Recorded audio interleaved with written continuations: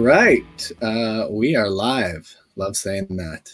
Um, so, welcome to another um, episode of uh, our Arctiq Backstage uh, Pass event. Um, so excited to do another one of these.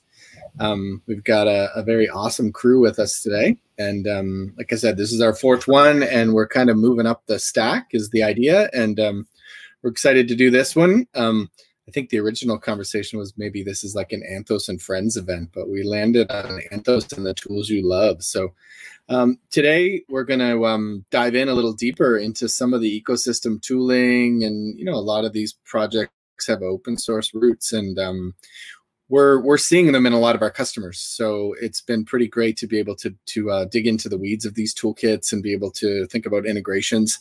Um, uh, one of the things we do see is, you know, customers need more than just one vendor to provide tooling, obviously, and we're doing a lot of work in the Anthos space, but um, we're also doing a lot of work with our ecosystem and CNCF and open source. So we're going to dive into a couple of partners that we know and love here today. So we're going to talk uh, um, talk about some of the tech around HashiCorp and some of the security capabilities around that. Obviously, HashiCorp has a pretty um, big tool stack now, um, and we use a whole lot of it. We're going to uh, dig into some stuff around our friends over at Sysdig, talk about uh, what their tools can do and how they can kind of complement your stack. And we've been doing an enormous amount of work with GitLab lately, um, especially in the CI/CD space. So um, dig into some of the capabilities um, that are possible with GitLab. Um, I think you'll see with all of these tools, they probably have with one kind of problem they solved, and then they certainly grew out of that and added a lot more capabilities. So we are here to kind of share the knowledge on that. Um, go over the agenda maybe quickly, and uh, I'll do a quick tee up, and then we'll get to the fun stuff. Get over to the demos. You know, our events are very heavy live demo, and it's no different today. Um, so I'll give a quick intro just to catch people up on what we're doing with Anthos and GCP and Google Cloud. Um, I'm your host, Kyle Bassett. I have a pretty awesome team. As I said, I got Paul Shea and Marek here with me. Um, we are watching for chats in the live stream. So if you have questions or comments, um, shout them out. We'll try to keep an eye on that and, and keep things pretty free flowing. We have an awesome special guest today, uh, Seth Vargo. I'm sure lots of people have heard of Seth. So he's going to pop in a little bit later and we're going to have an open style kind of fireside chat with him. So if you have questions for Seth, um, throw them in the channel, and we'll make sure that we we bring those up. And uh, yeah, like I said, engage in the chat. And I love saying like and subscribe. My kids love that line. We just uh, it's good to have good followers, and we're going to keep doing these events. So we want to be able to kind of share that knowledge. Um, all right, let's uh, let's keep rolling. Um, so what I'll uh, I kind of mentioned this is our fourth event, and uh, I want to thank our wonderful artists who build uh, build um, some of these wicked posters that we're able to share. So this is the fourth one. Um, we have some more events coming. We'll probably start to sway from the Anthos topic a little bit, and we'll come back to it in various uh, various scenarios to be able to kind of share that knowledge. Um, but this one's really about other tools and some of the complementary tools that you're able to kind of uh, integrate um, into the stack. So, quick thing about Anthos, um, just setting up the different components. We've talked through a lot of these recently. Um, Arctiq's been very fortunate to be able to work with Google as a design partner on a lot of these kind of core components. And like I said, it brings us to work with other ecosystem partners. So we like to be at the tip of the spear and be able to learn these tools and develop opinions so we can kind of help our customers. So today, these tools integrate with a lot of these areas, but this is kind of our, our main kind of starship of Anthos managing all of these.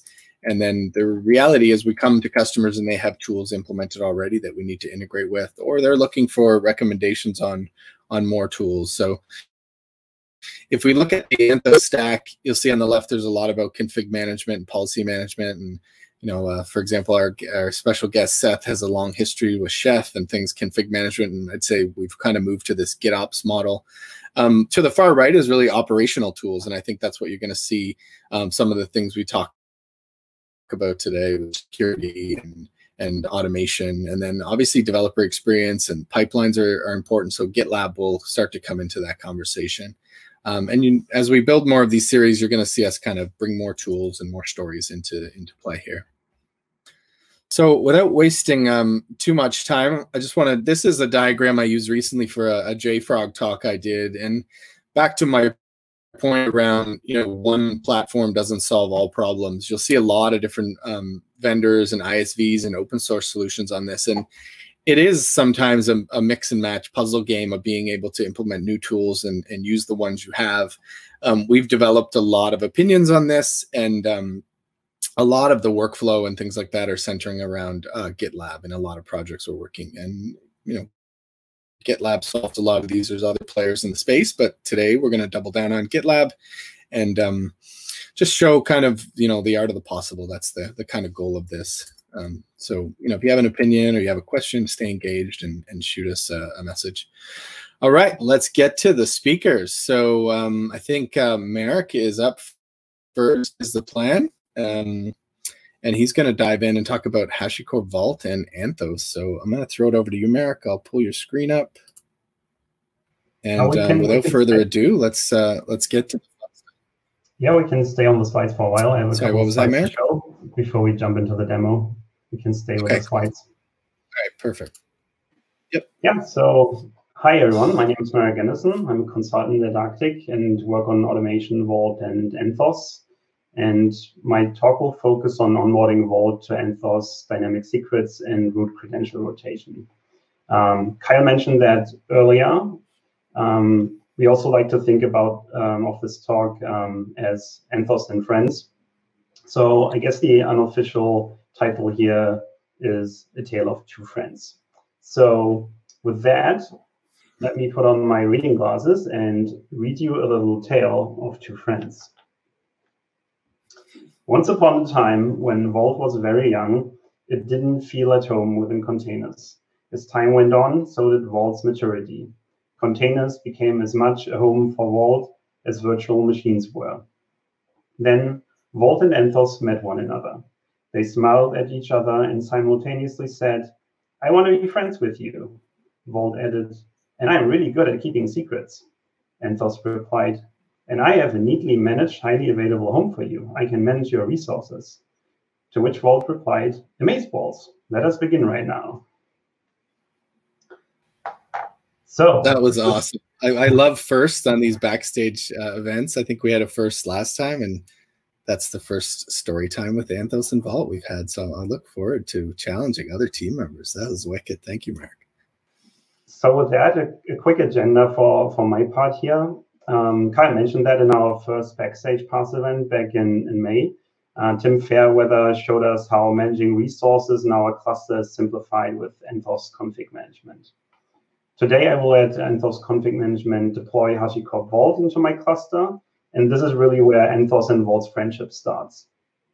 Then we briefly recap how Vault can issue and revoke dynamic secrets, database secrets with PostgreSQL, and lastly, we will let Vault handle the rotation of our database root credentials. And without further ado, it's demo time. All right. So let's flip over to my shared screen. Perfect. So I had a lot of power outages and internet problems, so this is all pre-recorded, but here we go.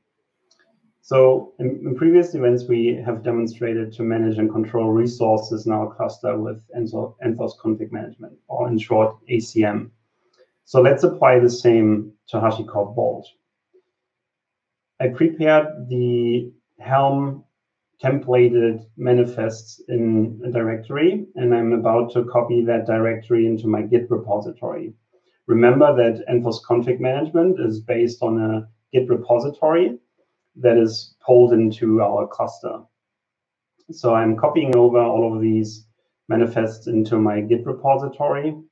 Then we will push them to Git in a second. Before we do that, remember that we can briefly do a quick test on our manifest with a nomos vet command, which is part of the ACM suite. So after I verify that everything is in order, we can move ahead do our commit and our push to Git and wait for everything to reconcile on the ACM side in our cluster.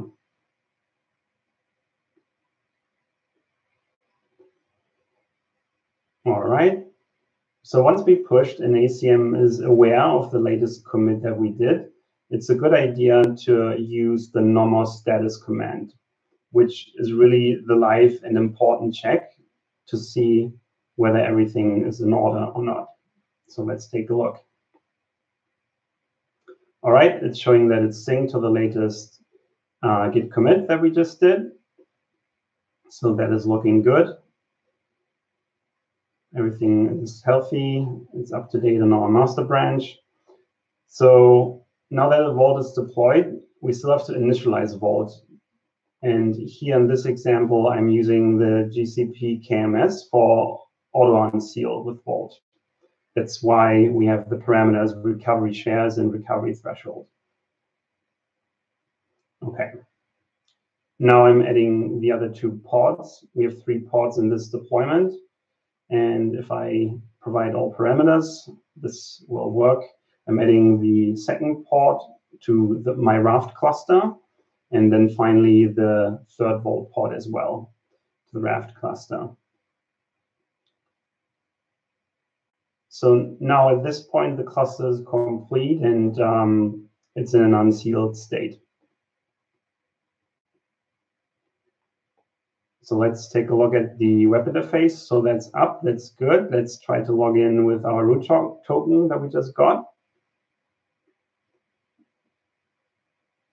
And I have to make sure to copy the correct one.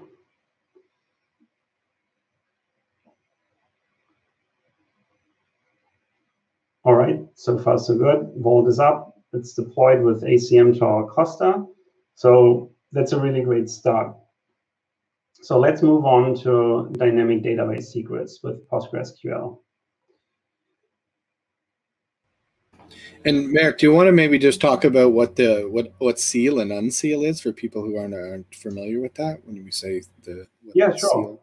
So when we when we think about vault and like vault, I love the term. It's a really great metaphor. It's a really good, great mental image. The vault at first is uninitialized. There's no content, nothing in it. So before doing anything, we have to initialize Vault to set up the encryption keys. And then once we've done that, if you think about a bank vault, it's still closed. We have to unseal it. We have to provide the codes, if you will, to open the vault and be able to access it, to write secrets to it or read secrets from it.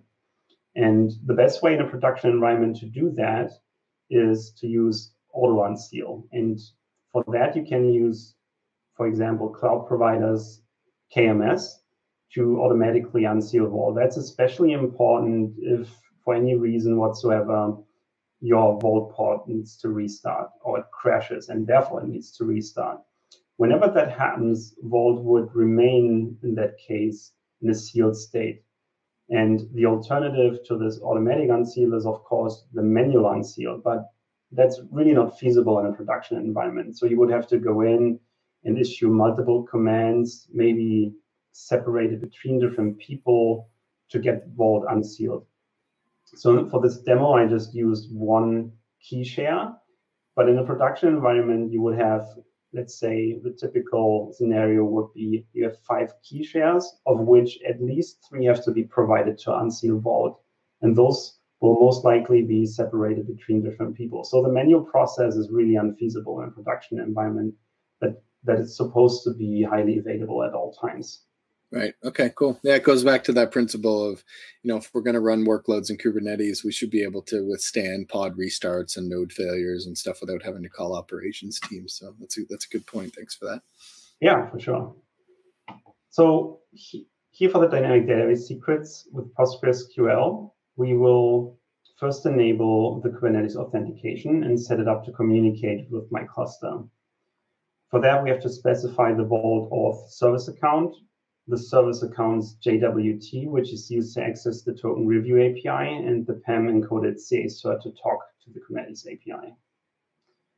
Once that is established, we can specify a role. Sorry, yeah, Kubernetes was already enabled. Um, so once um, we have that established, we can specify a role that will allow Postgres to generate dynamic secrets for us. And this role will get a vault policy assigned later on that includes the appropriate vault capabilities to read the dynamic database secrets. So from a vault perspective, it's really a read operation since we are reading from a path inside of Vault. Alongside Vault, here in the cluster, we provision a minimal Postgres instance and create the required Postgres role, so inside of Postgres, that allows us to create further Postgres roles. So for that, let's forward the traffic to our Postgres service. Oh, I already had it set up. So I have to cancel that, set up a new forward here. So now we, that we can talk to our Postgres service. Let's import some sample data, set the Postgres role, and define the user for Vault to be used. So I'm just importing some world cities and, and countries, like a small database.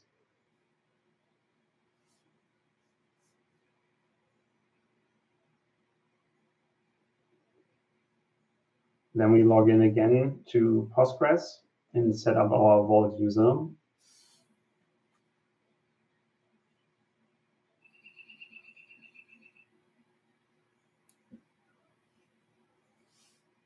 Okay, I already prepared that as well to provide a password for that user, which we will provide to Vault. So that's how Vault will be able to talk, talk to the Postgres database. So now that all of that is set up, we will enable Vault's database secrets engine and configure it with a template connection string co communication with Postgres. Again, I already enabled the secrets engine here prior to the demo. And um, in the configuration, note that the username and password are on extra lines here. So this is the templated part. If we wouldn't do that on the connection URL line. We could provide the clear text username and password. But what this does, how I'm doing it right now is if at a later point in time, a different vault administrator is reading this information, he cannot gain the clear text username and password. So this way, in the templated form, this information remains protected. And finally, as I mentioned earlier, we have to write the policy to vault for Postgres and to retrieve the dynamic database secret with a default TTL of five minutes. Can be extended to a maximum of 12 hours in this case. And then the username has a prefix with v-root-read only, which is the information tying back to Vault. So it's saying this comes from Vault and it's coming from a read-only policy inside of Vault. And we have a generated suffix to the username and the randomly generated password. So an extended demo of all of this, how to set up Vault and PostgreSQL to handle dynamic database secrets, can be found in our May video featuring Tim Fairweather. So in the last part, we will take a look at the rotating of the root credentials.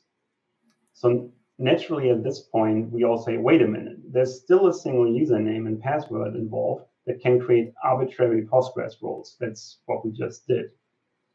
So let's take a look at my last part. So before we go about rotating the root credentials, let's begin with the initial credentials we supply to Vault. Let's see what the hash value of these credentials looks like at the moment.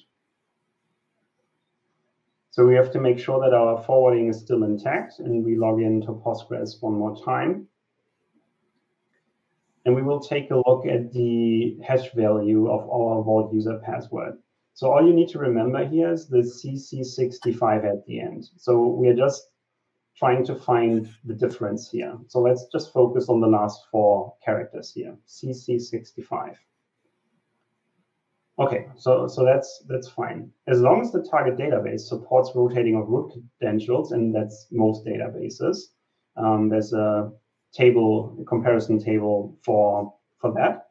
Um, we just have to use an API endpoint to rotate the initial root database credentials. Um, if I'm using the correct uh, name I provided earlier. so that's it. That's it. We just rotated the credentials. Um, so keep keep the characters in mind. You see at the top CC64, and now you can see that our Vault user has changed. So now it's E77D. So with just one simple call to the Vault API, we changed our root credentials for the password, sorry, for the database. So at this point, now that the root credential was rotated, only Vault holds the new root password. So there's no way otherwise to see what the clear text password is. So in production environment, it's probably still a good idea to have a separate super user dedicated um, to worst case scenario um, debugging sessions or something like that. Okay, so now that we did that, let's let's ensure that Vault can still generate dynamic credentials after we rotated the root credentials. And yeah, it's it's still working. We we got another set of username and password dynamically generated. So the simple API call we did to rotate these credentials, that could be invoked on a regular basis. So in conclusion, coming back to my last slide,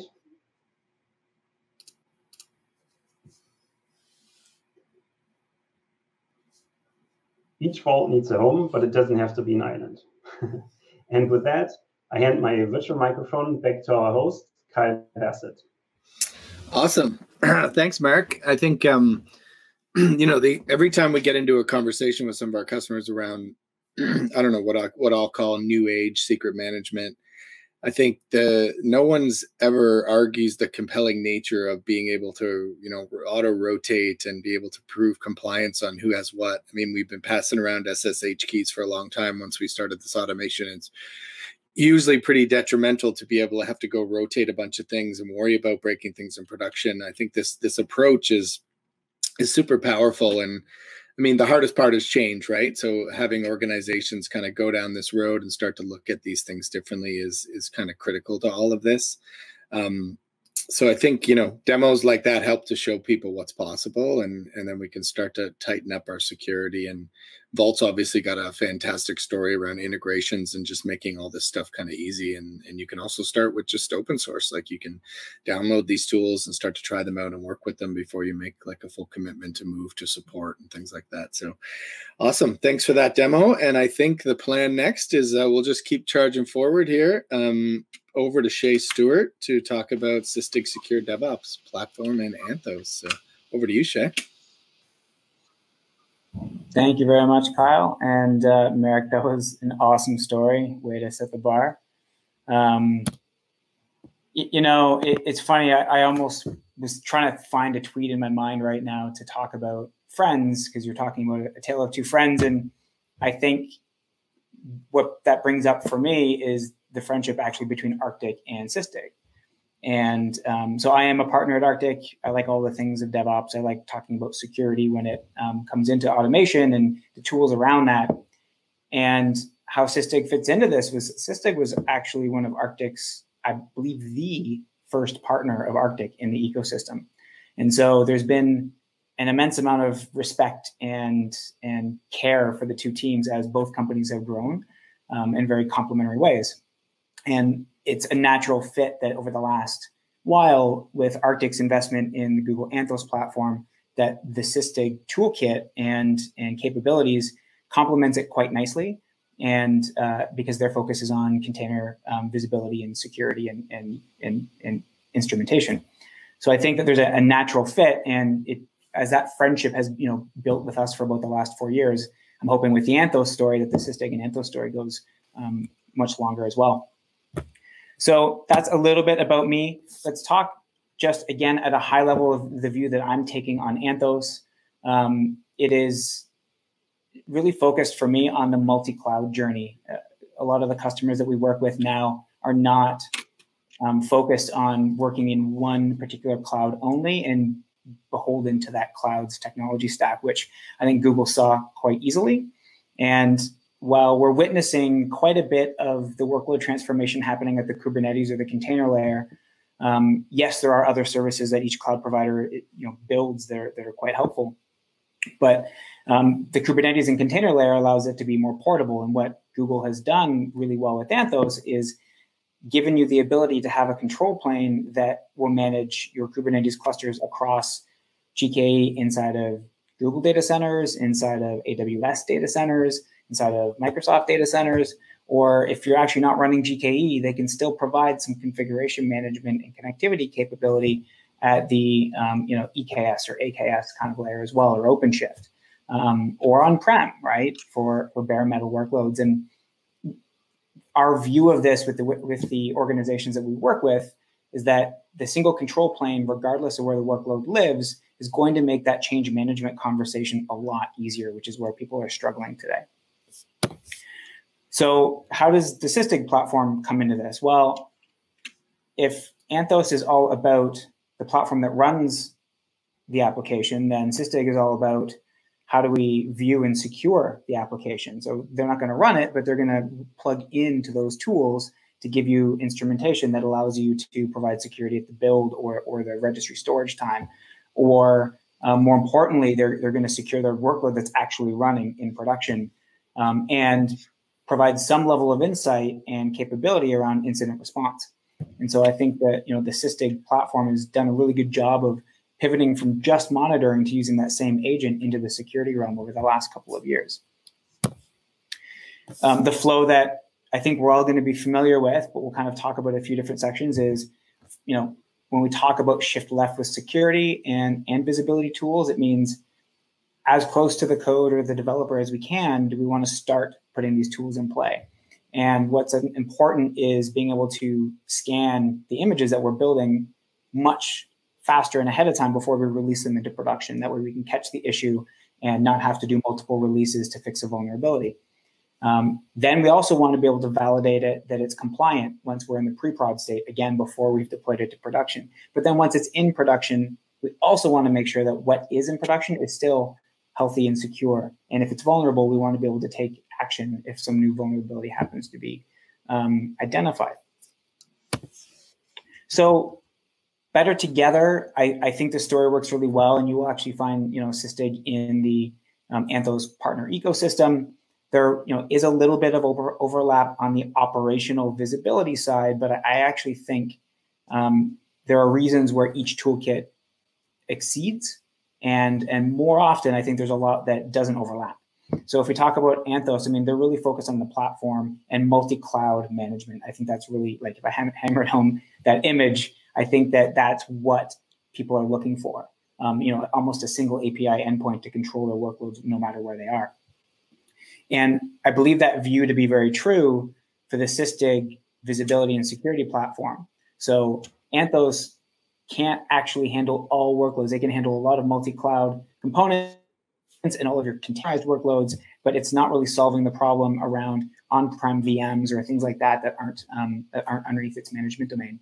Where Sysdig on the visibility and security side uh, can actually span both virtual machines and containers, um, but also can span all of your Kubernetes environments.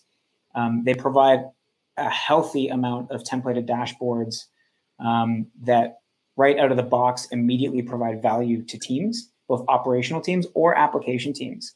Um, and that's kind of the next piece, which is the the team visibility. I think is really really powerful, and I'll talk about that when we go through the the, the demo a little bit. But being able to separate who can see data versus who has access to a resource where they can almost affect that data. Uh, it's nice to separate those two um, groups. Uh, another aspect that I think we're going to focus a little bit on here is going to be the runtime protection um, with Falco and Sysdig Secure, there is a vast amount of ways to protect the running workloads. So this works in, you know, in conjunction with things like Anthos Policy Controller, but focus purely on the runtime aspect and, and less about, um, you know, the admission controller and, and, things that are about to be deployed. Um, and then really the one area that I don't see a lot of other people diving into that I, I feel is unique to Sysdig is um, the application forensics side of this or the container forensics. And this is a huge attraction to a lot of security operations teams that when something does go wrong in the environment, we want to be able to analyze why and what it was, what happened. Um, so, so that's it for slides. I'm going to pivot over to the demo side. Um, we don't like to, to do too much on the slide side. So the first thing I'm going to do here is I'm going to take a look and just show you that I've got really no, um, none of the Sysdig components currently deployed in my Anthos clusters. So what you're seeing in front of you right now is the Google Anthos dashboard in, in the UI. So Marek did a great job of showing everything by the command line. I'm going to be a little bit more um, UI driven. And what this is going to show you is that I've got a couple of clusters registered with Anthos configuration management. Um, and one is a dev cluster and one is a prod cluster. And the flexibility here being that I want to be able to possibly define different policies or different configurations between dev and prod, but keep them mostly the same. So we can tell that we've got them both synchronized and everything's happy, which is great. If I take a look at my, my Sysdig monitor dashboard here, you're going to see that in the last you know few minutes, I've got no data from my host because I don't have any hosts that are registered right now. Um, and so what I'm going to do is I'm going to use Anthos configuration management to go ahead and deploy the Sysdig agent. Now, the Sysdig agent uh, can be deployed a number of different ways. In this particular case, uh, we are going to just use the manifests, and we're going to apply those manifests uh, through a GitOps approach into uh, our ACM repository. So what I've just done, if you take a look, this this is the, the top level root of, of my ACM folder. So what I'm synchronizing here take a look at either one of these clusters, I'm synchronizing the Sysdig demo slash ACM folder. Underneath it, I've got a namespace that I've just added uh, called Sysdig agent. And then I've also got a couple of um, cluster role bindings to allow the agent to communicate with the cluster appropriately. The inside of the Sysdig agent folder, I've got a number of different things, a service account, service. Um, I've got a secret. And um, the secret is you should probably use Vault and the injector service to handle this secret. You should not be deploying this inside of a, secret configuration file as I am here. Um, what Marek had just shown you was is the better approach to store your um, Sysdig token. Got a name namespace definition, and then you know the important parts would be the daemon set, which allows us to run the agent, as well as uh, we've added the image analyzer daemon set. So this will allow us to do in-cluster vulnerability scanning you actually have the option of doing both. You can do um, SaaS-based vulnerability scanning, where um, the platform will contact your registry, or uh, like in-cluster image scanning, where we've got a daemon set that's running that's actually scanning your applications. And then you'll notice here I've got two configurations, and they're both almost the same, with the exception that ultimately I want to have a different name for each cluster. So I want one cluster to show up in the dashboard as dev and one to show up as prod. Um, so basically that's the difference here. And I've got a couple of tags as well just to help differentiate the environments. And you'll see why this is important when we get into the dashboard. The other side of this is that when you're using Anthos configuration management, we can have targeted configurations in the same repo for specific clusters. So we have the annotation that says, I want to apply this to dev and dev only. So those are all the manifests that we need to deploy this. Um, we've got them ready to go. We're going to do our commit. And then we're going to open up pull request as we would in a GitOps format. Your VS Code game gets stronger every time I see you, Shea. More integrations. I don't. You know what? I, I, use I use a few less these days, but the GitHub one I do like a lot. So that pull request is just opening right now. And of course, if I click the button, then it would have continued on. So we're going to jump over to the GitHub UI just to that it's all doing what we wanted it to do. There it is. So in a in a GitOps approach, um, which is gaining a massive amount of traction and required for something like ACM, you know, this would go to um, somebody to approve appropriately before we actually merge this into the branch. Going to confirm that merge. And so once that's done now, we can actually switch our branch back. We'll see this update in a second. I'm going to go back here to our demo main.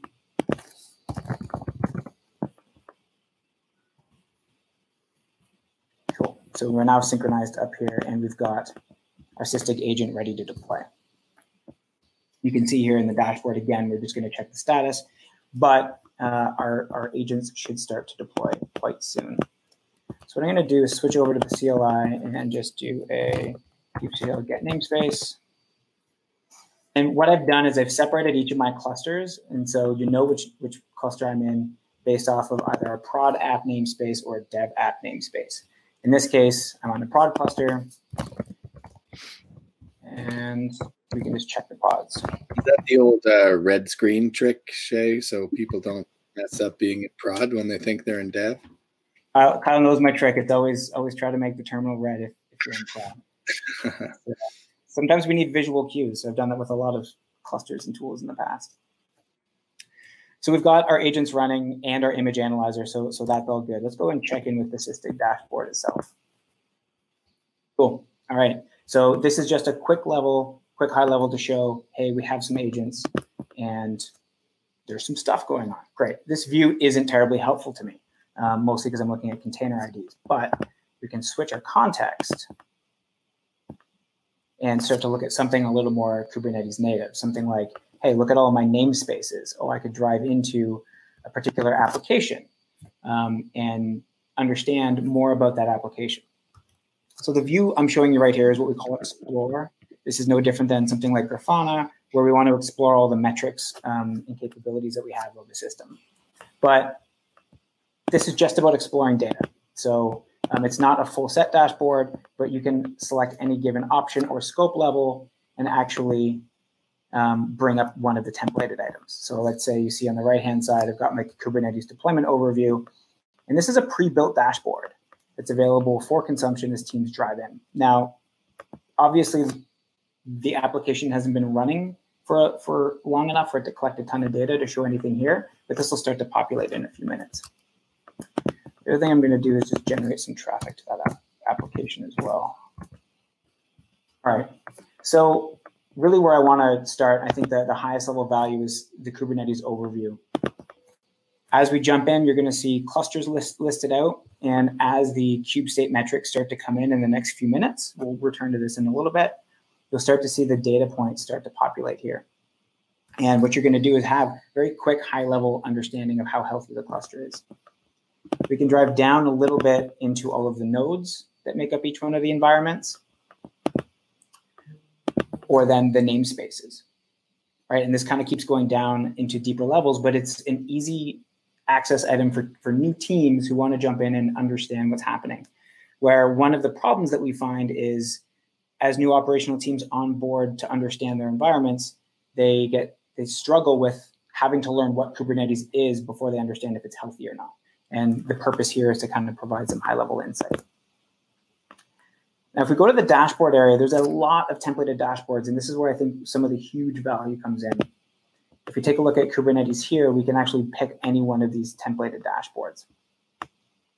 So if we take a look at the health overview, you're going to see all the data starting to flow in now, but then we can start to drop this down by any scope or, or refine our scope here. So if I want to pick on, let's say, um, my cluster, I want to separate between dev and prod.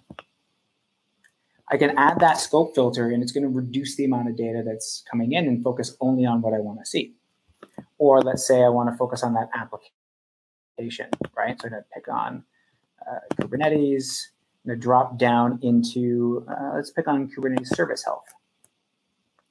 And let's pick my app called Monitor App. This is a voting application here that if you if you like cats or dogs, you can go ahead and check your vote. You can tell that I particularly like dogs a little bit more. Please don't hold it against me if that bothers you. Now, based off the resolution of the screen, it's a little bit, you know, guess what I would say is there's a lot of data here. What I would do is actually um, create a custom dashboard from this and start to remove panels. What you're going to see coming in with these these sort of uh, charts that are coming in is you're seeing like actual network latency um, between certain services. So this is the result app that's actually posting a 288 microsecond late or millisecond latency. And so these are immediately available to any new team that comes on board and just wants to scope into their application without doing any other instrumentation.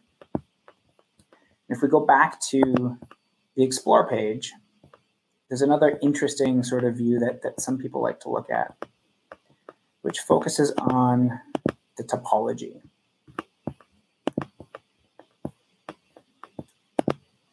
And so sometimes if we're trying to determine if there's something going wrong inside of the application or we're seeing performance slowdowns, then ultimately we want to be able to see if we can help pinpoint where the latency is coming, where the latency problems are coming in. So now we can see all of our pods communicating with different aspects of our of our application and what actual network throughput is coming through, or if we actually have, um, uh, we're going to look at a response time as well.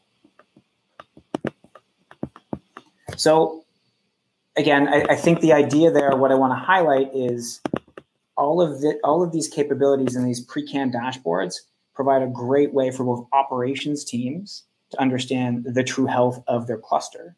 Um, being able to look at something, let's say, like um, CPU usage and allocation. One of the biggest problems we see in a lot of environments is that people are over over requesting and underutilizing uh, their resources. Um, it provides immediate reporting on the health of the system, but also provides dashboards that are a little bit more focused on um, the application team. And what I want to just quickly highlight is that there is this concept of teams. And so as you configure a new team, you can scope them down to only a few namespaces. So they're only looking at the data that's relevant to them. And all of this can be underpinned by um, your SSO configuration. So it's not actually tied to the way Anthos deploys its access control this is actually a really important piece because the way you need to orchestrate sometimes your Anthos deployment has a lot of access control routing to get metrics into a place where both teams and operators can view and use the data appropriately. And, and that has to often be customized by an, an enterprise. In this particular case, um, it's a separate access control system that can use your own SSO and your own team structure. Uh, and is really, really flexible at giving both ops and dev teams and security teams the views that they're each looking for. Um, so I'm going to quickly just take a look here at our event stream. Again, as we talk about multi-cloud or even VMs and containers together, all of this data rolls up into Sysdig, and um, they're also pulling in Prometheus metrics, StatsD, and, and a few other and JMX metrics and things like that. It's all funneling into a single area. Um, and we also have a single event feed, so then we can alert or alarm on these types of events, right? We can easily select something that we want to know about and actually create an alert from that if we wish to. And we can dump alerts into Slack or PagerDuty or things like that. And finally, inside of this monitor view um, that I'll highlight quickly is the capture metric, uh, the capture capability where you can, on an event and with an alert, let's say if I selected this one here, at the very bottom, you can also set it to, I think I chose the wrong one. Let's do container died. Yeah. I'm missing it here. I'll show you in the other window. Uh, you can do assisted capture and it will, it will trigger off an actual full capture of the event and then upload it to the capture area where we'll do sysdig inspect. So that's the monitor piece. Um, but I want to jump into the security side. So if we kind of go to the top, there's secure and monitor applications. And most of this is running from the same agent. Uh, and that's a little bit important to understand only in that we don't want to run a ton of agents inside of our environments or sometimes agents conflict. So the same Sysdig agent is doing the security enforcement as well. Um, however, if you want to do on host analysis, we're also running that separate daemon set to actually do our vulnerability management. So quickly, uh, we talked about being able to do vulnerability scanning, and absolutely this capability exists. Um, I'm just going to quickly highlight that we've got a report section where we can run a report based off everything in our environment or do dynamic filtering on images that we want to, that we care about. And this will just give us, let's go ahead and log back in again. And so what this will do is this will give us a view of everything across um, all of our clusters and all of our environments, and then that'll give us some information or some some help, right? You can also download this and send this off to the to the SecOps team, but I would encourage teams to give access to the security operations team. In the secure application area, we have the same capability where we can build separate teams with different scopes. Or we can also give application teams access to their own scope, which is really, really important because we want to give the team access to their own vulnerability data without having to show them everything across the infrastructure or enterprise. as we jump down through the image scanning, you can set policies and you can set exceptions. I mean, this is all a little bit par for the course on um, on vulnerability management. It's been done before, um, but there is a really good and effective dashboard here to use it. But then we've also got policies that can be scoped to things like NIST or PCI, which is really helpful. And as a service consumer from the Sysdig platform, they are constantly updating those definitions, which is really, really helpful. And in your policies, you can also do a number of customizations that are really powerful. So if you want to make sure that your Docker files are formed in certain ways and built certain ways, uh, here is where you can apply a said policy. Right, we've got things like um, making sure that the user uh, you know, is or isn't being used, making sure that, that port 22 isn't being used, or making sure that we're not, we don't have a high severity vulnerability running in our image. Um, these types of modifications will need to be tweaked a little bit, but uh, out of the box, they're, they're quite effective right away. As we move down the security list, we talk about benchmarks. So you can continuously scan and alert on compliance of your Kubernetes cluster. So if there are configurations that aren't as secure as they should be, you can work towards making that better and then also be alerted when they fall into compliance. But really what I, I, I kind of want to hit on the most is uh, one of my favorite hats from the from the team as well, which is the sort of the Falco hat that I've got going on here. Um, the Falco open source security runtime and, and policy engine from Sysdig is the under, underlying agent here that is actually going to help us with our runtime protection. So um, what we've got are a couple of different things, uh, a lot of rules in the library that they publish that is quite powerful. So we can we can filter based off things like um, particular compliance standard, right? So like NIST or PCI, or we could do something that's Kubernetes specific, right? And pick up particular um, types of rules that we want to apply to our environment. And these are not all currently in, in force. These are just things that we can pull from. So we can do something like, you know, create a rule that says, you know, if they create a disallowed namespace, do something else, like notify us or stop it from happening. So it's quite an effective list of rules um, that is already there available for you to consume. Um, there's also, you know, a way to create your own rules. And there's a full sort of Falco documentation exercise that you can go through to build your own custom rules that are applicable to your own environment. And then we take those rules, and really what happens is we push those into a policy.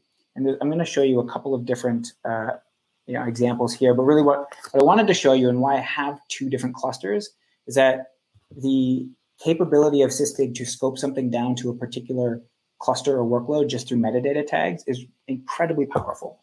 So here I've got the shell process um, in prod. So what I'm looking for in my prod cluster. Now this could be by namespace or by a metadata tag on a container. There's there's a whole lot of sort of descriptors. Um, I'm going to focus on the prod cluster, and I'm going to look for people trying to run shell and try to exec into it. And if that happens, I'm going to kick off assisted, assisted capture and I'm going to kill the process. Now, that's for prod. But let's just say I want to be able to give that capability to my teams in dev. I want them to be able to get in, but I want to be aware of it. So I can notify, but not necessarily kill or stop the process. So at this point, I'm going to switch back over to my cluster. I'm still in prod right now. So I'm going to switch over to my dev.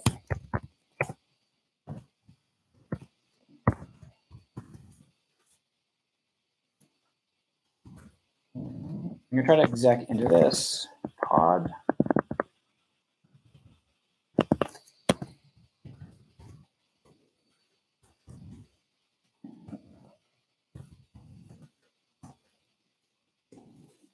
You can see, I can see everything I can exec in and that's totally fine.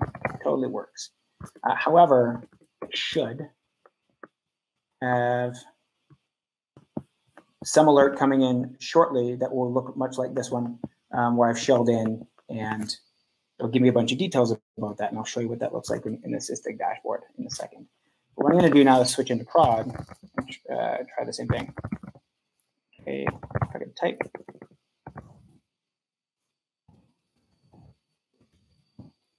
Mm -hmm.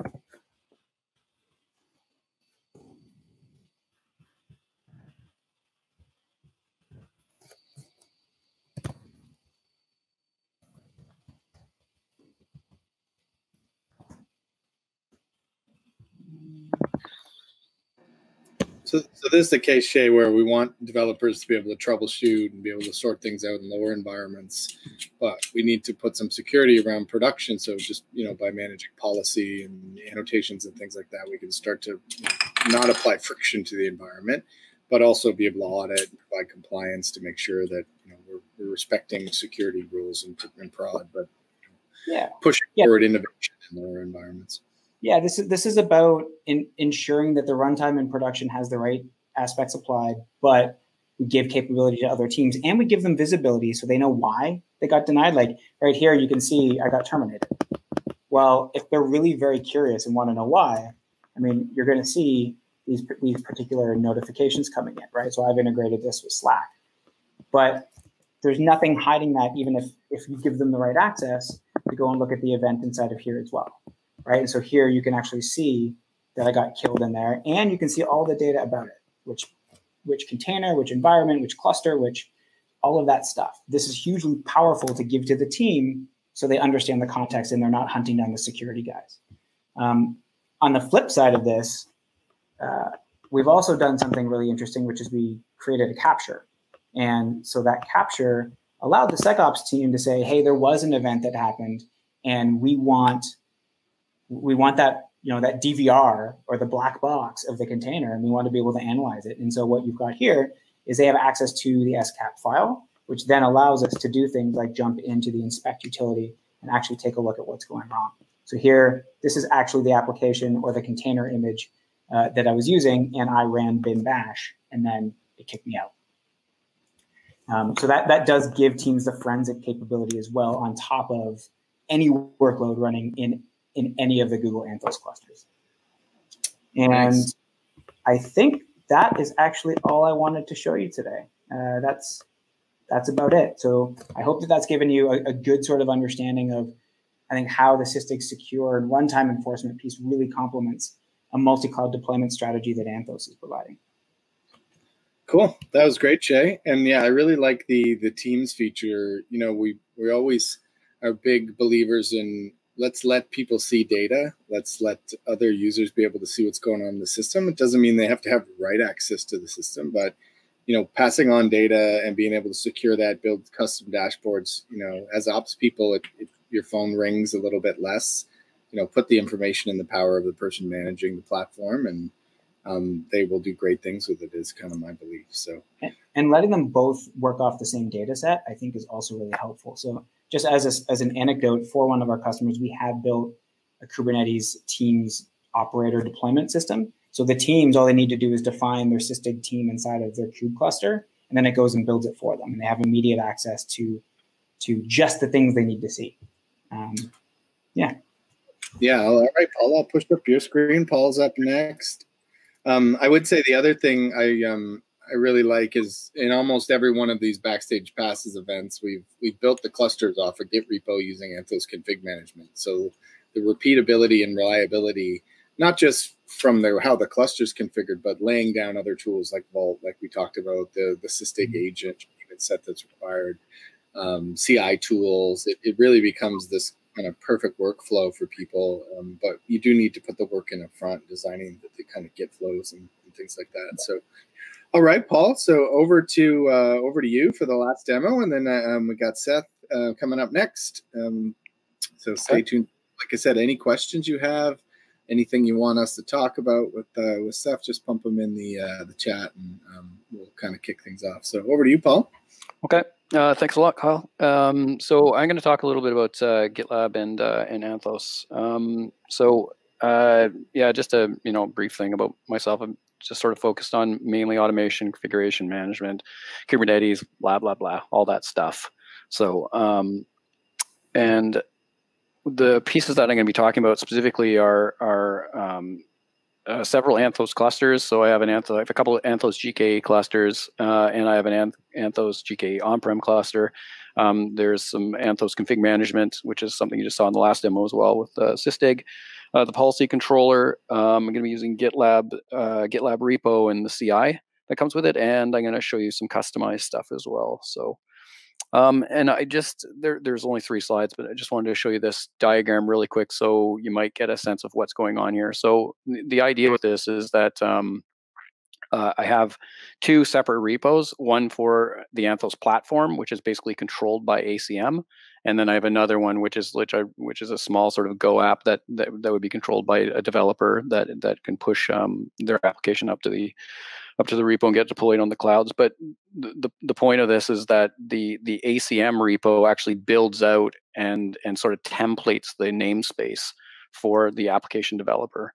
Um, so I just wanted to show you that really quickly. These these arrows sort of like you know this isn't in sequence. It's just showing you sort of what has what happens is the oper- once the ACM operator is installed on the clusters, it goes and reads the the repo, uh, anything in that repo, and deploys. Um, uh, in this case, I'm deploying the Git runner, the GitLab runner, in in every every one of the namespaces. So the GitLab runner scope to that namespace on each of the clusters. And then uh, once that's done, uh, that GitLab Lab runner can talk back to the GitLab CI instance. And um, then the, uh, from the developer side, we can actually we have another repo which has the Go app and and uh, Docker files and stuff, and we can build from there and uh, and have GitLab um, push GitLab CI push for us. so that's what I wanted to show you there really quickly, um, and I'll get into the demo. So, uh, so the first thing I wanted to show you with this is is just the I, I use there's a GitHub GitHub repo that I used to actually build all this stuff. Um, the, the, clusters aren't really important. It's just some Terraform code that that uh, that I used to build the clusters. But what is important is is sort of the the configuration management. So ACM is set up on all these clusters, and they're all pointing back to the the Anthos platform um, Git repo, which is living on the Git GitLab. So uh, GitLab is here. So so this is the GitLab instance. So on one of these clusters um, called Backstage GitLab, there's the GitLab instances running, um, and and uh, in this Anthos platform re- repository is the ACM configuration. So um, basically, it looks like your sort of standard ACM config um, cluster cluster um, uh, wide uh, um, uh, configuration go in the cluster config uh, cluster uh, directory. Um, so I need a GitLab runner um, permission set, which is this, which gets deployed on all the clusters. Um, much like uh, um, the one we just saw with Sysdig, there's um, I have to I specified uh, the cluster selectors. So there's a cluster selector for every single um, every single cluster, so that we could we could specify what goes on there what doesn't go on there. In my case, I'm just I'm putting the GitLab runner on every every one of these. So I just built configuration for all of them. Um, so they're all basically uniform. Uh, and then in the namespace, so this is the the namespace that I, that ACM is creating is called Go App, and that's where the actual application code will will go. And uh, we've got uh, basically a GitLab uh, service account. Um, the configuration map for every one of the clusters. So um, basically, in here you have the runner that, that the runner config, um, and we're actually marking the runner config with uh, with a tag so that it's it's specified and labeled back to the to the actual um, namespace and, and GitLab runner that it's allowed to run on that cluster.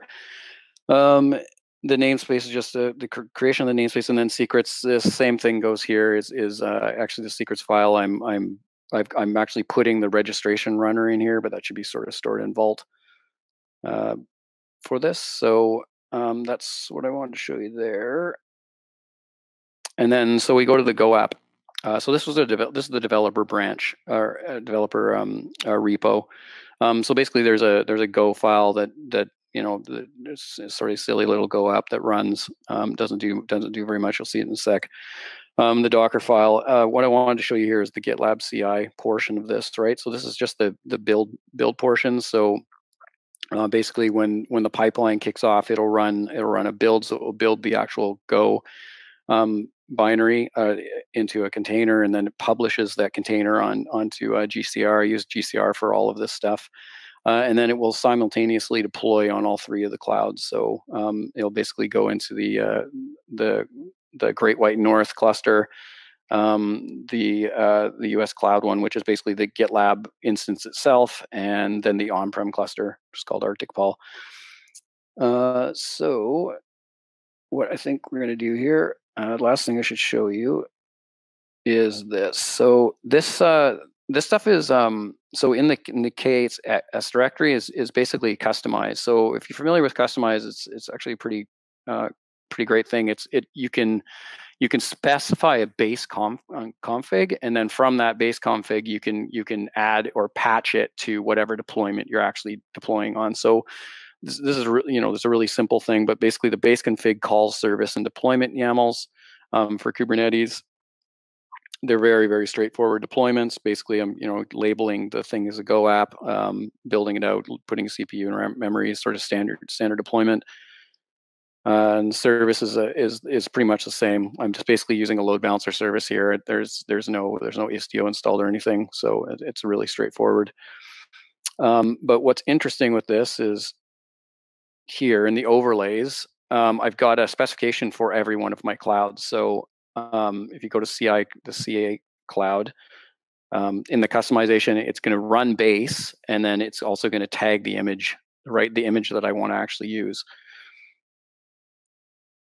And this one, the on-prem one's a little more interesting because uh, with the on-prem instance, there's so the the two the two the US and the CA cluster are um, are GKE clusters and use the GKE load balancer. Um, the on-prem cluster uses the Seesaw load balancer. So uh, one thing that it cannot do is dynamically generate a, an IP address for the load balancer VIP. So what I did was actually patch that that VIP. So I'm basically specifying the service and then and then using the and then assigning this this this load balancer VIP. Um, and it will basically patch and overwrite that customized file. So I'm going to show you that real quick. Let's uh, and Kustomize is um see where I am first. So Kustomize is uh is actually built right into the um into the command line now into the kube controls, which is very cool.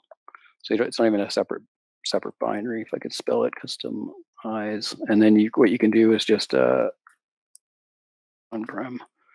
So, so this is basically like an, an in-house kind of rendering of this. So, um, so if you look at this the service, what it's done is it's actually patched that load balancer thing, which was not the load balancer IP was not in the standard, the standard um, template, and this will run just for the uh, just for the on-prem cluster. So uh, now that that's done, let's uh, let's actually build the app. Um, so it's got to do a, you guys can still see my screen. Let me just make sure I'm not. Okay. Yeah, looks good. Okay, cool. So we're just going to uh, build this out. Commit. Shim build my app. Okay, so now I'm pushing to the Go uh, the Go repo, which is here, and the pipelines are set. Uh, one thing I actually should show you. So there's the the pipelines here, and it's going to do a build. Um, one thing I forgot to show you here is uh, in the admin area, which is kind of interesting. So so the runners that I was talking about before. So these runners are actually these are the runners that are all running inside of that inside of that namespace, and you can see they're scoped to the the the clusters themselves. So each so there's one for Backstage GitLab, there's one for Arctiq Paul, and there's one for um, for the Great White North cluster, and they're locked down, so they can only be used with these tags. Um, and let's go back to back to the pipeline, see what it's doing.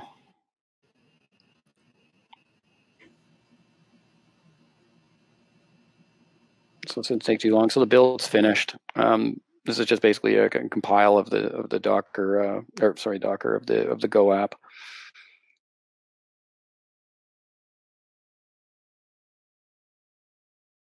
And and the next bit is they publish. So this publish is basically like um, building out the the container image and then uploading that container image to the to the GCR, which you can see here. Those are all the clusters.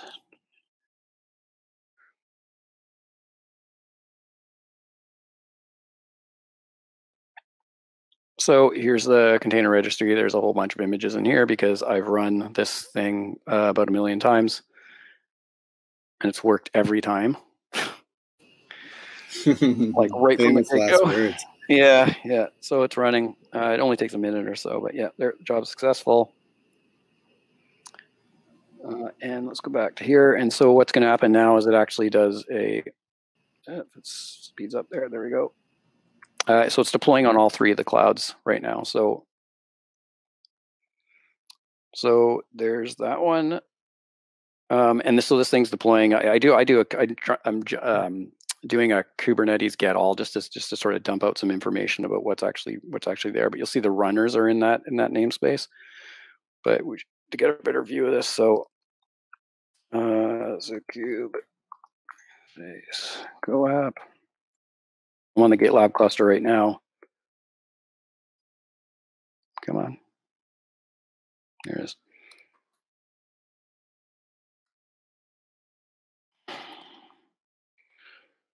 And so there's my there's the runner, so that's sitting there, and there's the there's the Go app, which I just deployed 43 seconds ago. If we go to the external load balancer IP, we can. Oops, that's not what I had to do. Over here, and there's my Go app. So version two, simple Go app that does nothing. Basically, all this thing does is uh, is is grab the IP that it's on, uh, put this print out the time and and and the host name of the pod itself. So, uh, wow, super exciting uh, Go app there. And uh, the one thing I'll show you too is the on-prem one. So, TX. Um,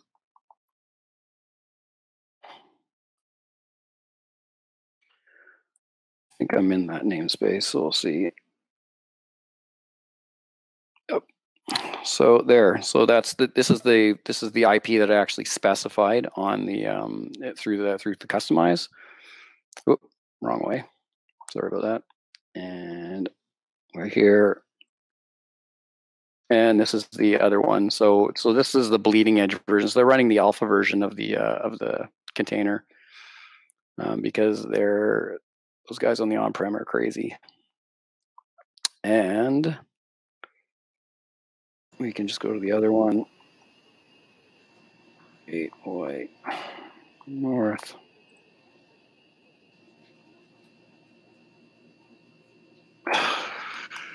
Wrong one. Next.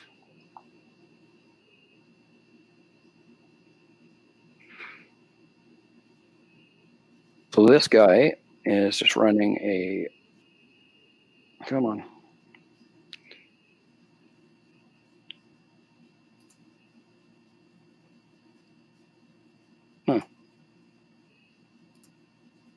Wow, that took a really long time.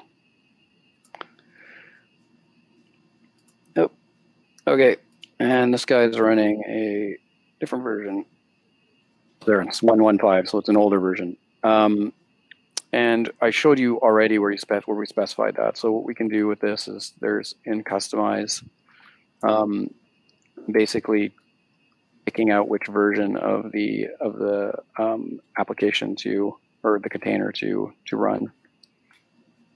So so upgrading this thing is as simple as just is just building out your kustomization file. You all you have to do basically, let's say the the um, say the conservative Canadians want to move to what the U.S. is doing, so you just can set that to 2.0, which would change the the version. And this is simple. Oop, type. Oh my god.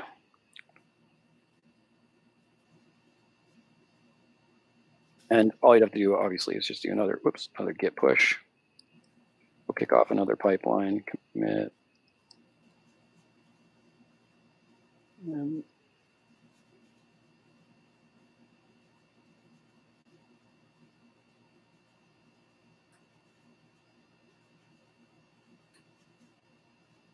now that will that'll run another branch or sorry another pipeline uh, that'll run the pipeline here.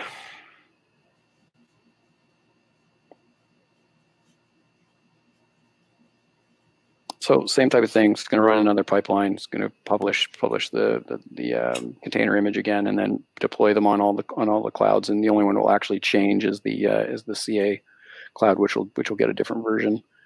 So wait for that one to run.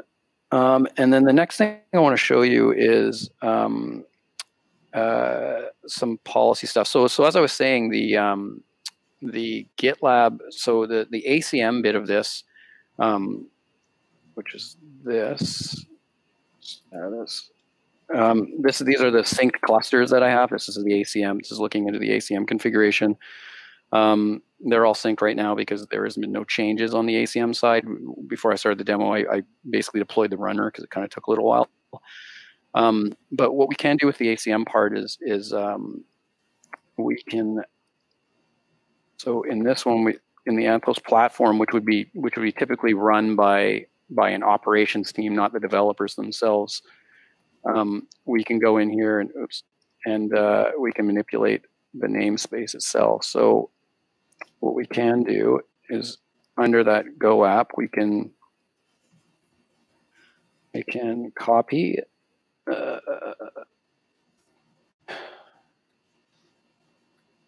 copy a policy here. Um, and what that policy does is it actually denies the network connectivity to the Go app um, if you're running uh, if your if your if your cluster is enabled with network policy. Now, in in this in this demo, uh, the the one that is enabled with with um, network policy is my on-prem cluster. So when I actually push this, um, it will block all traffic to the on-prem cluster. So, but before I do that, I just let's find out what's going on with the pipeline there. There's CA, so the cloud CA part's done. So this shouldn't be our new version. Uh, so it was 105, 105. So there, two. So pretty straightforward. Grab the grab a new version. Now we can go back to here. And uh, with this, so so because this is run by ACM, you got to make a commit on the ACM branch. Um, so I'll do this, git commit block on prem push. Now, nothing to do with GitLab. This is just purely ACM stuff. And we can watch these clusters. Oh, so there's you see, you see pending. So this is this is actually being that that um, network policy is being applied to to all three clusters. Um, but the only one that actually has network policy enabled is the Arctiq Paul cluster. Um, so if we go back to here, we try to hit that VIP 58, it just hangs. You're basically blocking all network traffic from the once once it gets inside. As soon as it sees a, uh, an ID of, of Go app, it will it just drops the traffic. So this this traffic is is kind of is you can't get to the cluster anymore. Now this is a, a kind of a you know a really basic example, but but just to show you that that you can apply any type of like overarching cluster or namespace policy directly from the platform layer. It can apply to all clusters kind of at once. And um, that can be controlled by kind of an operations group that would that would be directly affecting the application or the namespace that, that the developers are, are kind of in. So so and that was that was that. That was all I had to show you guys actually. Awesome. Thanks, yep. Paul. Um, yep, I love seeing. Uh, I, I, don't think people realize how many um, how many use cases GitLab can actually solve for. We had a we had a conversation with a customer today who was thinking about like full integrations, like how do we marry our bug tracking and and uh, feature requests and stuff, and work that workflow in. Um, you know, and they're they're thinking like, what's the golden interface to do this whole new age CI/CD thing? And I think we're getting pretty close with something like Git, GitLab to be that place to go to to to do merge requests and pull requests and be able to have this graphical, you know, interface that yeah, not everybody's going to use, but a lot of people will use it at the same time. It's so. it's fantastically powerful because you can the CI the CD deployment piece can be sort of like templated out properly put put to each namespace and then that back connects to the GitLab server. And then from a developer point of view, that's all you really need to worry about is just what's happening in GitLab. You don't need to worry about any of that operational stuff. So yeah, it's really, really powerful and cool. it's all locked down. Yep. Very cool. And I uh, shout out to Ahmet. We're still using your your CTX kubectx uh, cluster switch. I just put that on this morning. It's great. he was on our, our, last backstage. So, all right. So, without further ado, I am adding in our special guest. I didn't give him a warning, so I just woke him up there. Uh, hey, Seth. hey, Kyle. Good. How are you doing? Well, man. So uh, yeah, first off, thanks for for joining our backstage event with all people at Google. They're always so um, generous with their time. So I'd reached out to Seth and thought it would be uh, great to have a chat with him. I know the team got excited when I let them know who our special guest uh, this week was.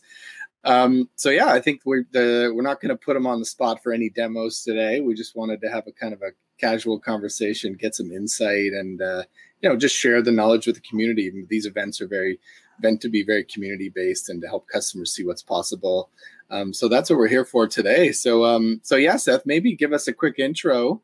I know you've you've got an illustrious career. You've done some stuff at Chef. You've done some cool stuff at HashiCorp, and now you're at Google Cloud as a, a staff engineer. So what's going on? What are you up to these days? Yeah, sure. So uh, hi everyone. Thanks for having me. Uh, I'm Seth. Uh, I work on our developer relations team at Google. Um, but I also currently wear three hats. Um, I don't know if any of you are experiencing this, but uh, some people's jobs are changing a little bit in light of COVID. Um, uh, I don't know if anyone's aware there's a global pandemic. I hope that wasn't a shock. I heard something about that. uh, maybe you heard it on the uh, the turntables. Uh, but the um, uh, so while I normally do developer advocacy, I, I spend a lot of time meeting customers where they are, like in physical locations, uh, but also getting on stages and talking about software, uh, sometimes deeply technical, sometimes at a very high level thought leadery.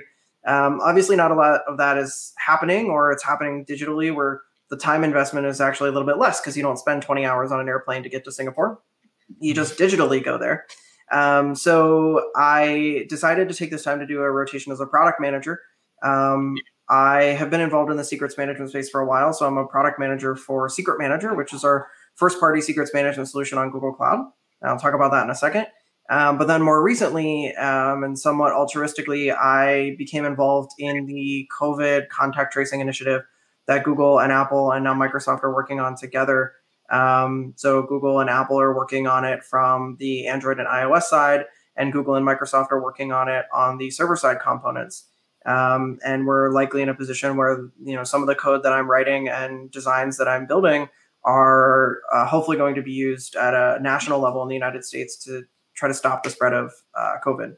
So, uh, really proud of that work, really excited, and also I'm in charge of security and privacy. So, also very scared. Make sure that we're doing privacy preserving uh, contact tracing um, at a, a, you know a, at the most granular level. That's um, awesome. Uh, like Kyle said before that, uh, so I've been at Google just under three years. Prior to that, I was at HashiCorp for four and a half years. I was employee number four at HashiCorp, um, original author of Vault, worked very heavily on Terraform and Vagrant and Packer and Consul. Um, wrote lots of tooling, uh, ran developer relations there for a while. Um, and before that, I worked at Chef Software uh, for three and a half years. So I uh, get, did a lot of work in like the DevOps um, and infrastructure automation space. Yeah, you've been around the block, man. It's uh, it's awesome, and I think it's cool, as you say. It's nice to be able to apply technical projects to like the human element of what's going on in this world today. So being able to, you know, solve some of these low level secret managements that the user never really sees, but they have trust in, you know, their their partner or their cloud provider protecting them um, you know this this whole contract tracing i think is going to be critically important but it's obviously very controversial for privacy reasons. So having having a tight eye on data and, and privacy is something google's always done and obviously you've kind of eat bread and sleep a lot of that the last several years thinking about how to make things more secure and more automated. So um, that's great to hear man. And I, I think just a segue into a, a secret management topic is it's one of those like if we, if we look back at Marek's demo, it's one of those things you talk to a customer and you show them, okay, there's this new Kubernetes thing, you know, it's table stakes now. You're buying into it. Now it's time to turn the gas on. Um, but the way you provide identity and access management and secrets across applications is completely changed. Like Paul showed a little piece around network policy of more of your firewall perspective, like this can talk to this in a new age software way. Um, but I've never seen someone kind of push back on the the requirement for modern secret management and dynamic secrets. But at the same time, I think it's pretty daunting for some of these enterprise customers. Like it's a whole new paradigm for them. Um, what kind of conversations are you seeing with customers that you know they want that, but it's not like a turnkey solution? It requires a lot of education and change um, inside the organization. Yeah, so like especially companies that have been around a very long time, you know, quote unquote enterprises, right? They're seeing this migration to cloud and they have to rethink a lot of things, right? Uh, on premise, you have your firewall, and all data that moves in and out of that firewall is is guarded and inspected and analyzed. And then you move to the cloud, and you know customers come to Google and they say, "Okay, here's my F5. Can you please install it in your data center?" Mm-hmm. Um, and we say no, right? We don't do that uh, unless you pay us a lot of money. Um, but ultimately, even if even if we were willing to do that for a customer, it kind of defeats the purpose of cloud computing, right? We really want to leverage the elasticity and scale of the cloud. Um, and the moment you're relying on, you know, some custom hardware device to do authentication and authorization, um, you're breaking that model, but you're also not practicing good security uh, or, or best security because you're building a model in which everything inside the castle is trusted and everything outside the castle is untrusted. And we know from experience and in the industry that that's not actually how these systems work, right? At um, even if you and, and we know this isn't how the world works, right? If you look back in like medieval times, um, we didn't just put a moat around the castle, right? If we just put a moat around the castle, then anyone who can swim could make their way into the castle. Like there were still guards the the princess or the king was still heavily guarded with multiple layers of intrusion detection and even if you know we look at some of the architecture that's left behind you'll notice that like staircases were designed and optimized for the um, the people who lived in that kingdom right they were uh, designed in such a way that they gave right-handed people an advantage because they would curve up and to the right which meant if you were taking a sword and swinging as a right-handed person, you had an advantage over someone who was coming up the stairs, right? All of these things, like we practiced defense in depth as a civilization um, very early on, right? And arguably at that time, it was truly life or death. But those same principles apply to us as we migrate to the cloud, right? No one's wielding swords, hopefully, uh, in the cloud. But the same principle of like, how are attackers going to approach our system and can we gain the advantage um, can we gain an advantage and can we use tactics that we know and anomaly detection to find them in the system and then ultimately again going back to medieval times the best security model is one in which you just assume that you're going to be compromised and that's why we see you know you look at medieval architecture there's lots of escape tunnels there's lots of ways to get the leadership out of the kingdom so that they can maintain continuity we even see this you know in the us government right we know there's a lot of uh, escape hatches in and out of the White House and various government buildings to get officials out in the event of a disaster so that we can maintain continuity. And those same practices should apply to your systems, right? You should assume that an attacker is going to make their way in, whether it's because of some bad code that gave them remote code execution that got that made its way into production and passed all of your security checks, or if it's something totally outside of your control, like spec, like Spectre or Meltdown or some CPU level vulnerability that you weren't even thinking about the moment that you assume that an attacker can gain access to your system, the better off your security models will be. All too often, organizations spend so much time preventing as opposed to detecting. And we just saw an amazing demo of, of Falco from Sysdig, which can be used as a tool at the again at the very low level at the kernel layer to try to detect when these things are happening. But detection is the first step. The second step is response.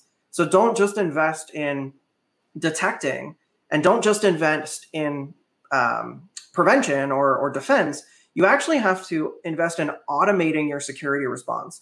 And this is where things like dynamic credentials and automated rotation are super important. Um, can you right now click a button and rotate all of your credentials? Anytime someone leaves the company, can you rotate anything they had access to? It's the CEO's birthday. There's no better time to rotate credentials. Federal holiday, midnight on a Saturday, there's no better time to rotate credentials. Do you know why? Because that's when attackers are going to rotate and that's when attackers are going to try to gain access to your system. They're not going to gain access to your system during normal business hours. They're going to do it when they think you're asleep. They're going to do it when they think that you're off work. An adversarial employee who's leaving the company, even on the best of terms, um, you know, they may leave the company and they say, "Oh, I left the company. I'm going to publish my dot files to GitHub now, so that everyone can check out my cool Vim config." Right? And inadvertently, their SSH key gets uploaded, and that SSH key actually has access to production systems at your company. Maybe they're leaving and they're a rogue employee, and they're like, "F this place. I'm out of here," and they're going and they're trying to sell those credentials for profit. Either way, like whether it's nefarious or unintentional, you need to rotate those credentials and make sure that former employees don't have access. Even insider risk is so important. If I'm at the company and I'm a developer, and let's say I'm doing a rotation into leadership now, I'm moving from an individual contributor to I'm going to start managing people and trying to make my way up to CEO someday. I shouldn't retain those same low level systems permissions that I had as a developer. Um, because I may, I'm now a target. I'm much more of a target for compromise.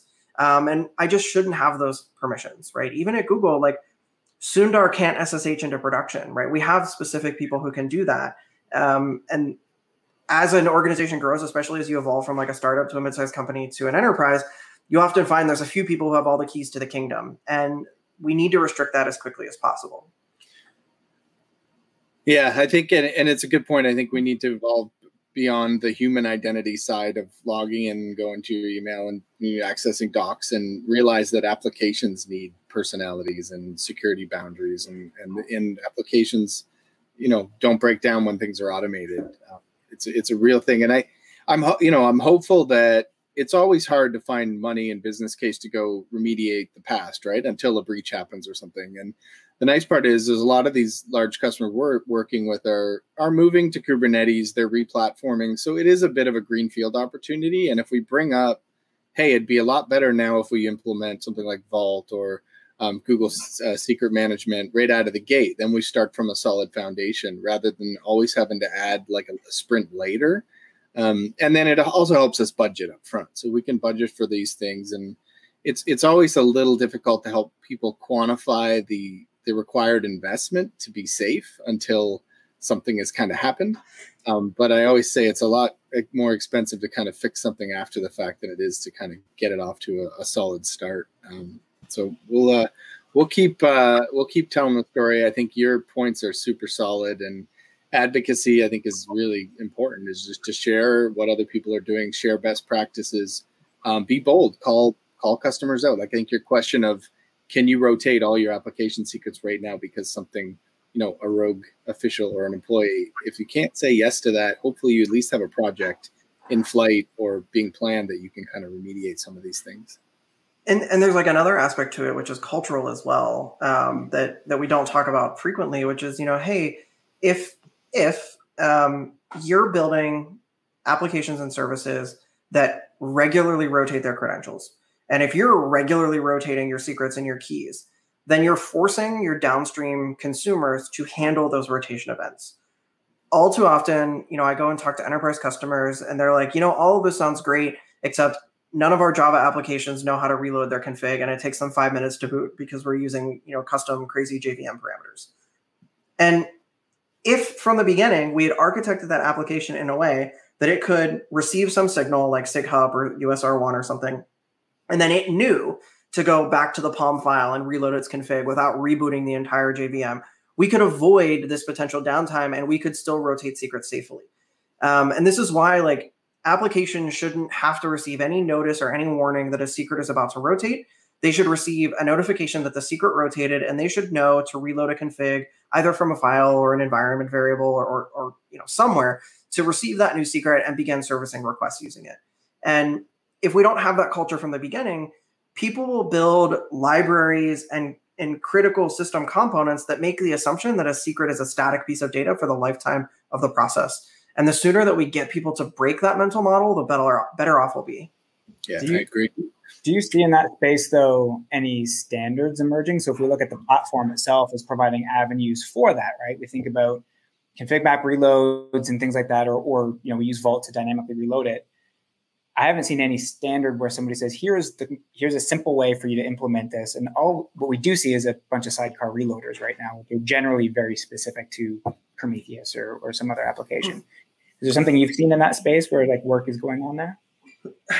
yes and no. So this is something I'm actually working on. Um, is like defining a rotation standard. Um, mm-hmm. And the answer I've come up with is um, there is no standard. Um, and and the reason for that is like if I were to ask you how do you rotate a Postgres credential, you might say, oh well, you know, connect to Postgres, hand waving, right? Alter user, set password, whatever. Um, but what if I told you that existing connections using that old Postgres password continue to be valid for the lifetime of their existence? So you haven't really rotated the credential, have you? Right? You've you've made it so new connections require the new credential, but existing connections are still authenticated and you can continue to keep that connection alive for whatever configuration. So as a business, right? This isn't a technology decision, but as a business, what does rotating a Postgres credential mean to you?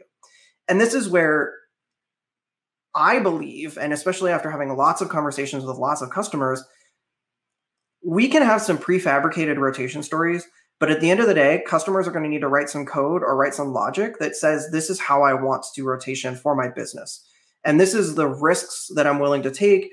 and the caches that I'm willing to invalidate um, in order to make that rotation a reality.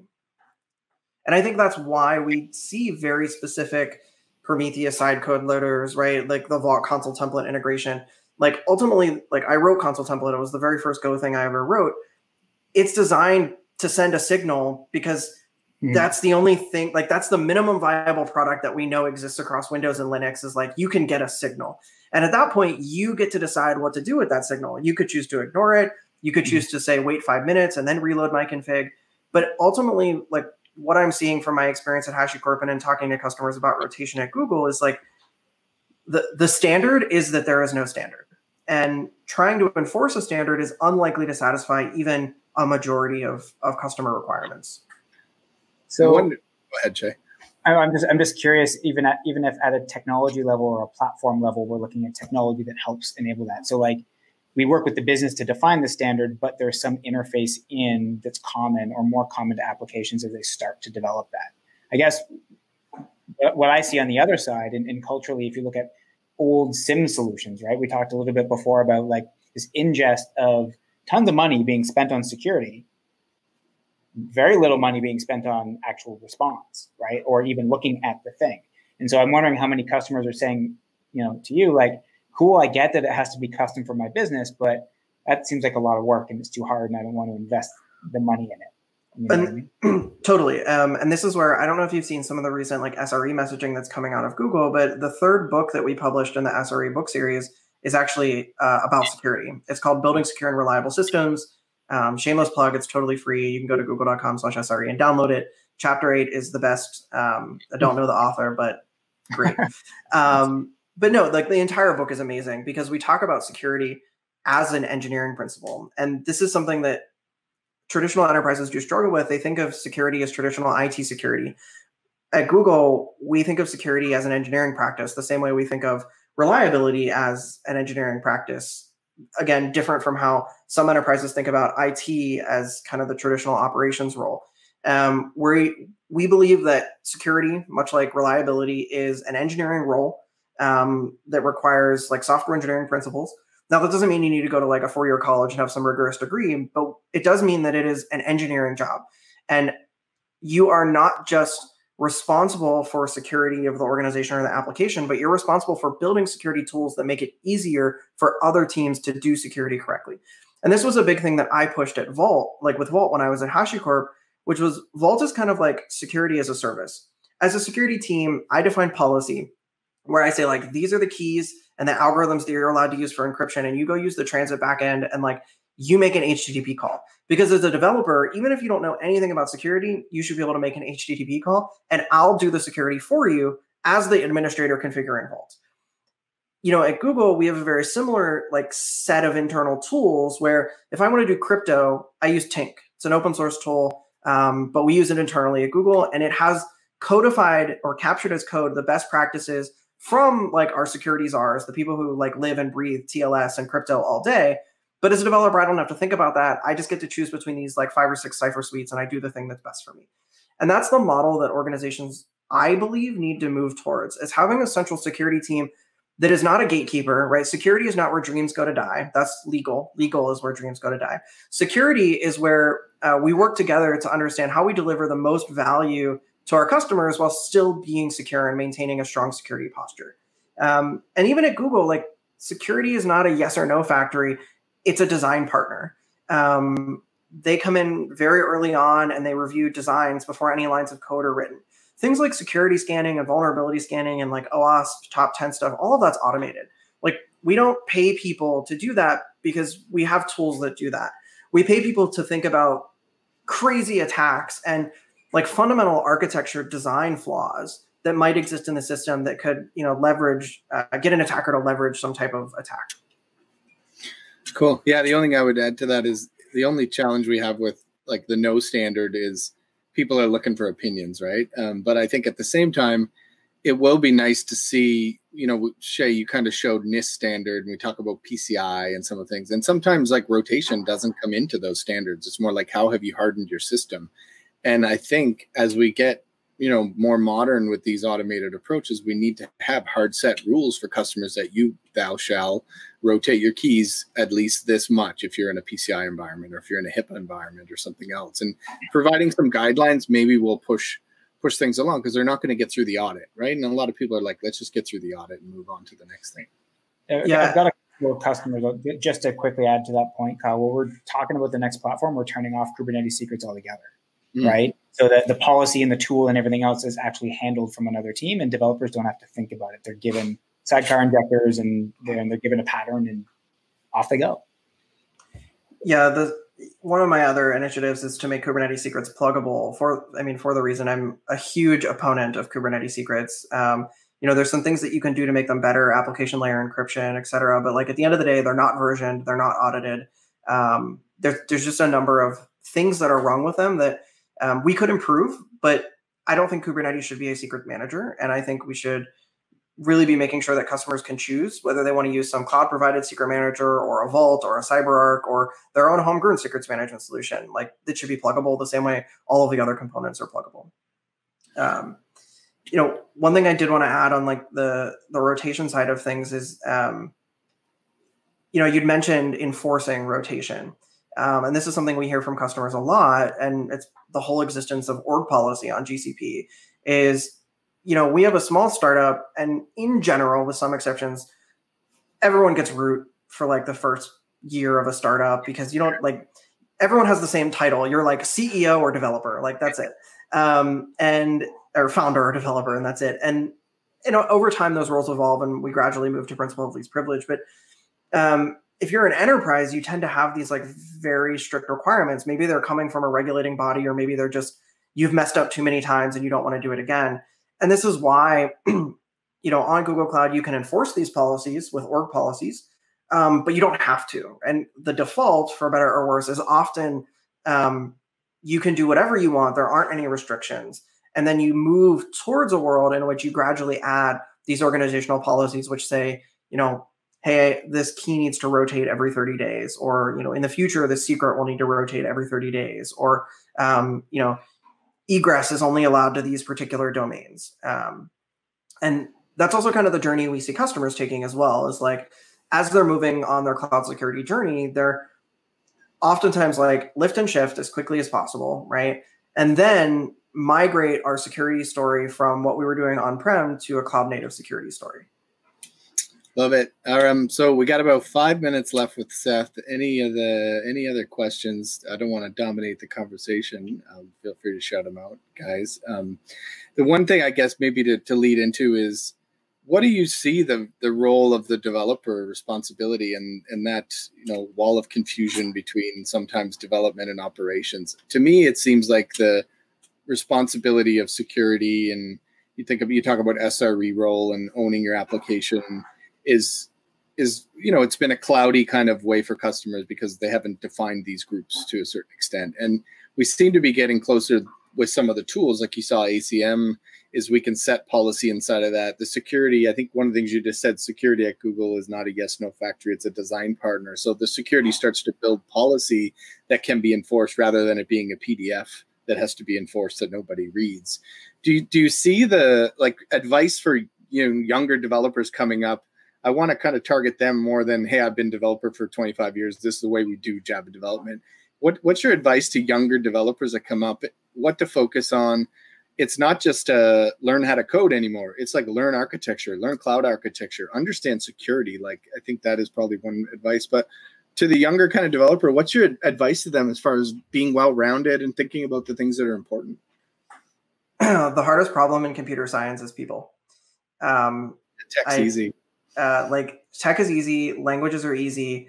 You know, I and I I made this mistake, so I'll, I'll you know do as I say, not as I did. Um, don't focus so much on the languages or the patterns or the paradigms, right? Like object oriented and functional programming, Elixir versus Ruby versus Java versus COBOL. Like we often center ourselves and create our identity as as younger developers around like a language or a paradigm. Um, and I can tell you, having been a developer for 12 plus years now, like none of that matters. Um, I started my career uh, doing lots of JavaScript stuff, went to Ruby, jumped back and did Node.js server side stuff, um, did Rust for a little bit, worked with Crystal, and now I primarily do Go. Um, and all of those are you know object oriented functional paradigm like it, it doesn't matter. Um, i've done front end i've done back end people are the hardest problem.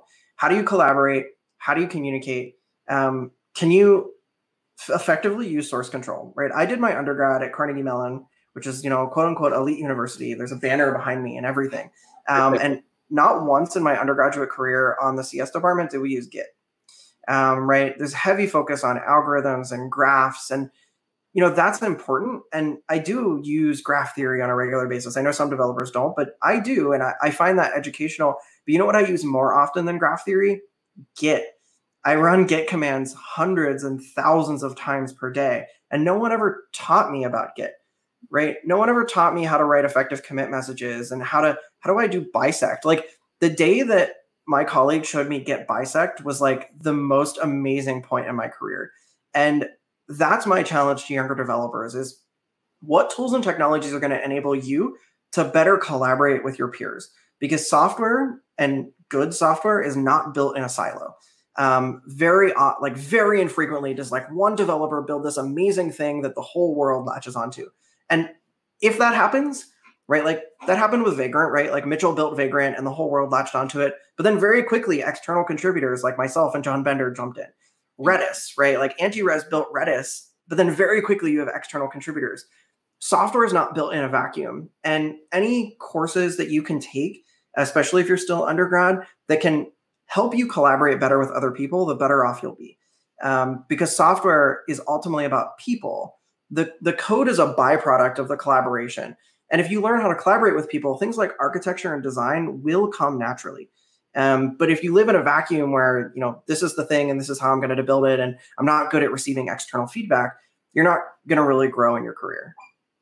Nice, man. I love it. And we're on perfect timing to get you to, I'm sure, your uh, next customer meeting. So, to thank you for jumping on, man. I think those are some great insights. And um, you know, I, I love opinions. I think it's great that we get to work with tech and develop them because people want to hear them. Doesn't mean they're always right, but it drives future conversation and makes us kind of make better systems. So look forward to collaborating with you, man. I know we've been chatting with a few larger customers and trying to get them to drink all this uh, security Kool-Aid. So we're going to keep it up. And uh, thanks for what you do for the community, sharing knowledge and and um, the, some of the tools you built, man. These things are like you know industry changing stuff, and it's really finally coming to bear that these are, are critically important to the enterprise instead of uh, startups and people twinkling in their basement. So good on you, man, and uh, really appreciate you coming on. So um, I guess with that, guys, we're going to make it a wrap. So um, awesome. Um, Thank you so much for having me.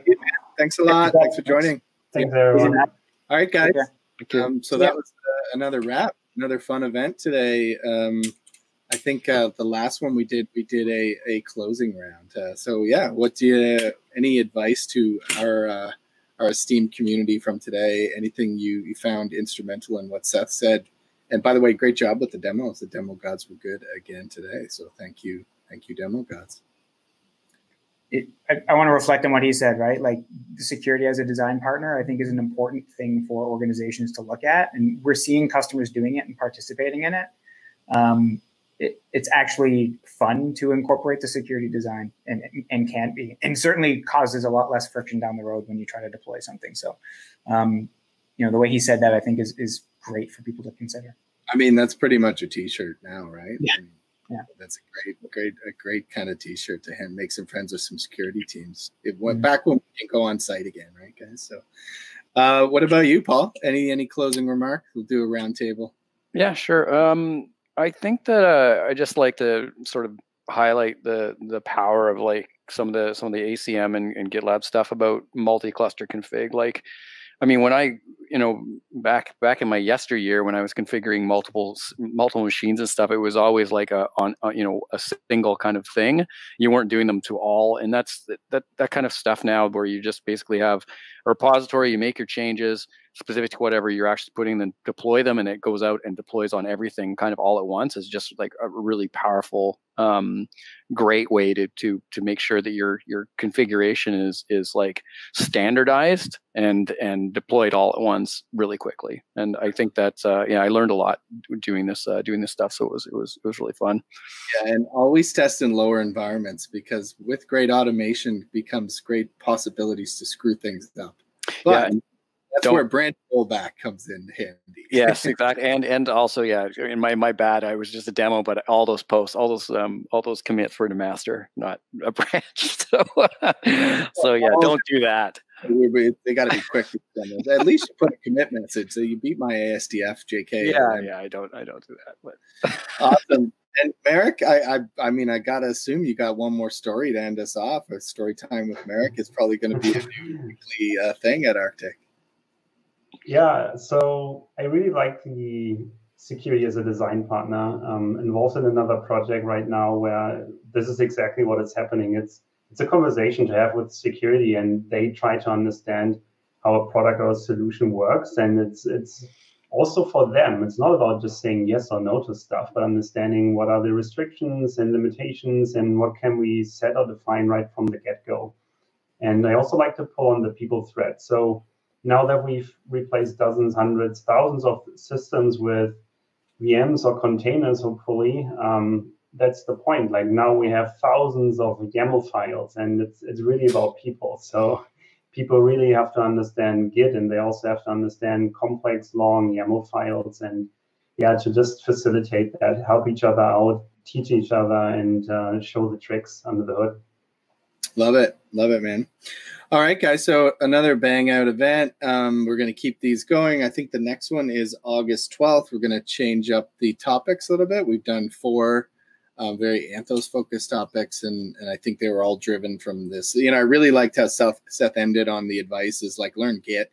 We it's almost becoming this novelty we talk about around you know GitOps and it, it, we've been talking about it so long it's starting to feel like it's like long in the tooth but there's so much there as far as unpacking the, the benefits of that and I think maybe we need to spend some more time talking about the byproducts of these new ways of thinking more than the tech side um, so I guess that's a challenge to us in our conversations with people because I think sometimes we get stuck in we do this all the time so we kind of be, it becomes second nature and there's still an education process not just around the tech but around the why what should, what's it benefit you? How does it benefit your organization? How it makes your life easier? Um, and change is never easy. So, you know, it is what it is. You got to put the time in and you got to collaborate with your teammates and customers and everything else. So, so with that, um, I'm super jacked that we've got these awesome uh, guests into these. Like we've got some fantastic ones and some some great things that that I learned from these conversations. So, with that, we're going to put a wrap on this one. We will post the the repost um, very soon. If uh, if you want to make sure you don't miss out on these, like and subscribe our channel. Just sign up for the newsletter, um, but keep an eye, you know, on LinkedIn, Twitter. We generally put the word out that these are coming up, and um, yeah, the best way is probably tell a friend. Tell a friend to come um, and be uh, vocal, ask us questions, and we will find you the answers. So. All right, everybody. So let's get back to our regularly scheduled day, and uh, I'll uh, I'll hit save on this. And um, everybody have a good afternoon. Thanks for all the hard work, uh, team. Awesome job. great. See you guys. Thanks all. Bye, everyone. See you, everybody. Bye. Andrew.